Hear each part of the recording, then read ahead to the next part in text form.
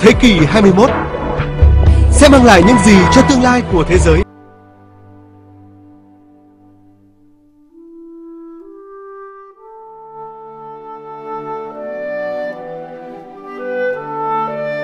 Tại vị trí trung tâm của thủ đô Hà Nội mở rộng